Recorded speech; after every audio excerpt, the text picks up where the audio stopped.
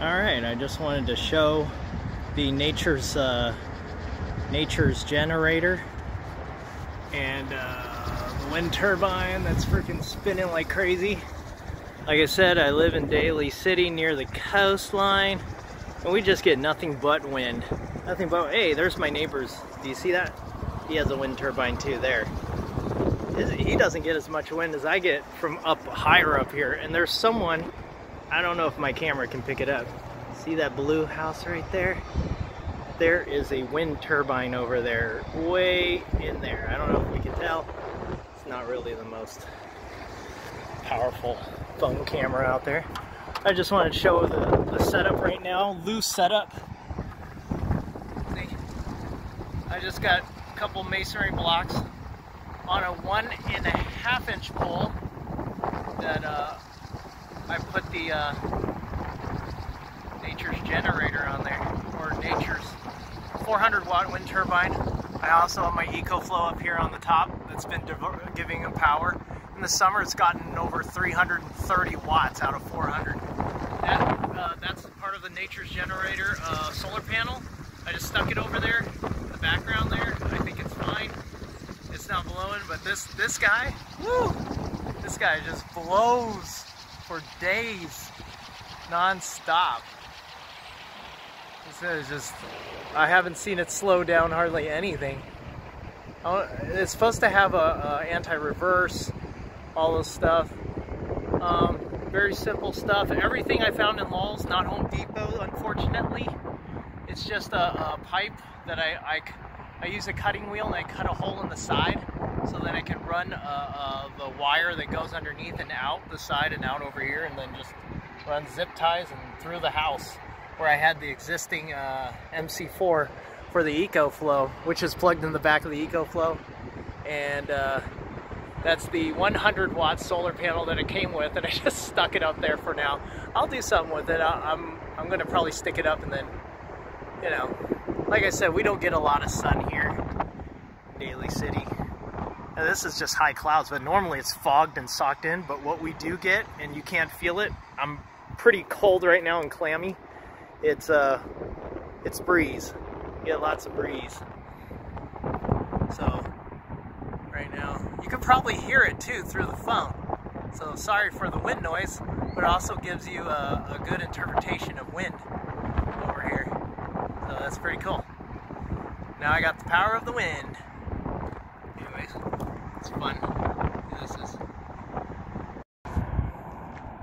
All right, I just noticed uh, our wind turbine wasn't spinning this morning and it is a little breezy out here but I, I just kind of uh, adjusted I'm, I'm just moving it away from the wind right now so it won't spin on me to show this example real quick um, so what I did was uh, um, I used a leveler and that's what I should have done so make sure it's leveled here and this side this direction here. Because I noticed the wind turbine was tilted downward because of our roof design and I just laid the flat board here with all the cinder blocks.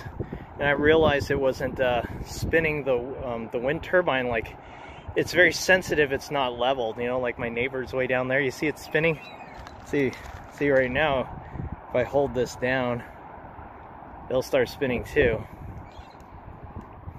But uh yeah so just just let you know um this is a one and a half inch pull from uh, um, Lowe's and then they have that little rubber mount piece that goes underneath and all I did was, uh, you know, included in the kit is this rubber piece, you know, the sound dampener.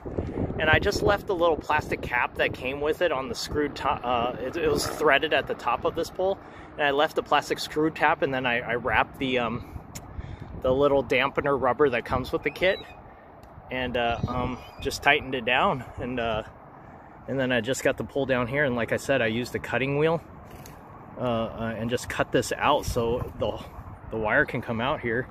And I just put some, um, I just cut some uh, bars and drilled some holes through here. And I have washers at the bottom and top um, of this assembly in a one, one and a half inch little flange that has two parts to the hole. That's what I wanted, at least double, not one. So this got a good a fair amount on here.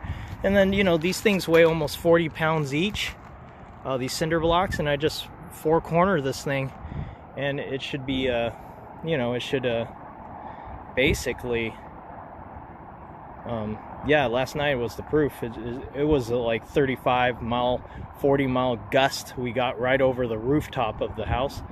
And, uh, you know, you stick your head out, you can hear this thing like spinning like mad. But, um, yeah. Anyways, yeah. So I, this is this is just this wasn't a big deal to put together. Just takes a little time and planning. But if I know this now, of course I would do this in way less time. Buy all the components that you need. I, I bought the the the um, those bolts. What were they? Three eighths. Um, they at the store they didn't have like two inches or two and a halves. They were out, so I had to double, triple up on washers, and I have a lock washer at the top end of it too as well. So um, you know, you have to improvise sometimes and just get a bunch of washers to stack. But um, of course, most of you will, uh, like with my board, was a three three and a quarter inch thick board, and uh, um, and I sprayed it with Rust-Oleum, you know, white Rust-Oleum, so it just reflects light, and and uh, it would cured in 15 minutes and dried, and uh, you know, it makes the board pretty much weatherproof. So that's what I did, and then I have the wire running down and across the side of the house. I also have their little solar panel too. Oh, and there's the EcoFlows as well, absorbing that sunlight. Except my shadow's blocking it right now. I'm holding the fin right now, so of course uh, it doesn't, you know, blow in the direction it's going to and whack me in the head. But anyways, I hope this was uh, somewhat informative and helpful. Material cost for all this, um, just for parts, I had scrap wood, so it's not fair to say about that. So I had scrap wood. Um, the, that little plate right there, those things from Lowe's, I think that cost like five bucks. That bracket down there that holds the, the pole, that thing was like less than 10 bucks. And then of course the bolts and knickknacks and stuff, there were pennies of the dollar. I think it was like $5 worth of, of hardware. And then the pull itself was actually kind of spendy, this galvanized pull that's one and a half. That thing was like 40 bucks, 42 bucks, one and a half. Um, this is a, a, a 36 inch pole. That's all I needed for the roof. Like I said, everyone's going to have a different setup than me, and someone else going to get a 30 foot pole. So, of course, this company is not going to include a pole. Everyone has various degrees of what they want to hook this thing up to. You know, I want to be able to like take this down if I needed to, or you know, just if I want to service. I, I don't know. I just uh, this this is all like kind of permanent, temporary, if you know, for lack of better term and uh, so I designed it that way. So yeah, you can see the blades going. Uh, like I know there's a lot of YouTube videos of people talk about birds getting whacked, but hopefully, I mean, they thought of that. They got the red uh, uh, labels on the turbine. Oh boy, it's spinning now. See, it's spinning a lot faster than my neighbors up there, which it should. But of, of course, it might be the MPPT downstairs, you know, built into this thing is spinning so fast right now, but I know the camera is probably making it look like it's super slow. But you can probably hear it. Hear the noise. But it, it's spinning. Now now it's slowing down a little bit. Like I said, I'm holding it. There's there's swirls of wind around. But this thing's spinning a lot faster than my neighbor's, which it should because from up here. But like, see, his is slowing down because maybe he has a, what do you call it? Um, maybe he doesn't have a dump load. So you know, different uh, systems have different stuff, and you know, you might have a brake system. But I know, I know, our, I think uh, Nature's Generator. They'd have to confirm though. If someone wanted to chime in from Nature's Generator, that'd be cool. Um, I mean, when this thing slows down and stops spinning, and that one's spinning, it's because you know it's either braking, or or it's um, you know the battery's full downstairs. You know that's why it just braked it to stop because it can't take any more battery. But we are running a, a, a little electric heater along with the EcoFlow, and this thing, the Nature's generator, is charging the EcoFlow. So maybe when it drains a little bit, then it starts flowing some more and releasing the brake. But right now, I don't feel any breeze up here in the top of my roof. But he must have some breeze. Okay, I see. I see someone's lower stuff actually blowing around that laundry and then so maybe it's on a lower part of that that wind channel over there that he's he's discovered But um, maybe I have this fat tree in the way. I mean, I don't know. We have neighbors' houses. But, anyways, I hope this was informative. Thanks for watching.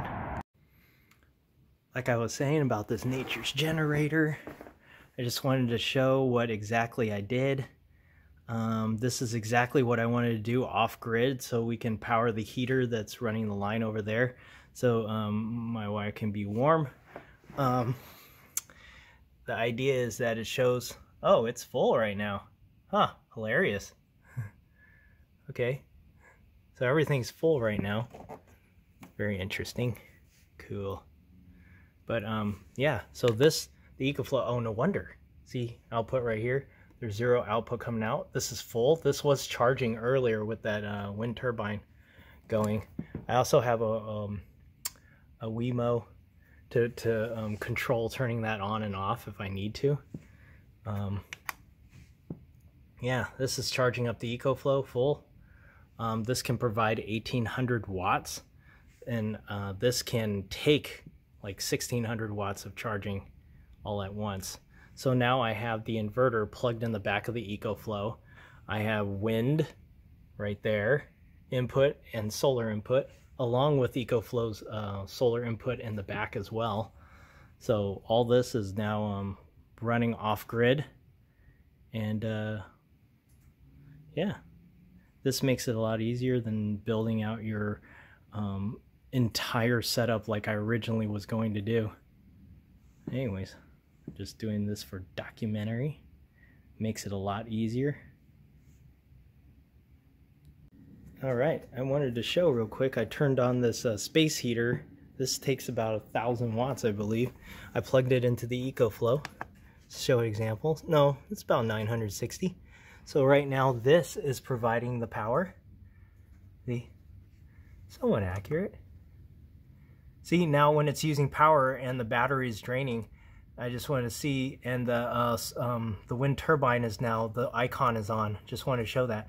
And since there's no sun outside right now, of course, none of the uh, solar panels are, are on or working. But earlier today, when I just plugged it in, it did show a um, solar icon right there. Looked like a solar panel underneath that wind turbine. And of course, the same goes for the EcoFlow. If the sun was out, solar panels appear right here on this spot if it's going. So right now, this is uh, the wind turbines providing power to this heater, which is making the house warm. Yet we live in a place in the Bay Area where basically you have no central heating in a home.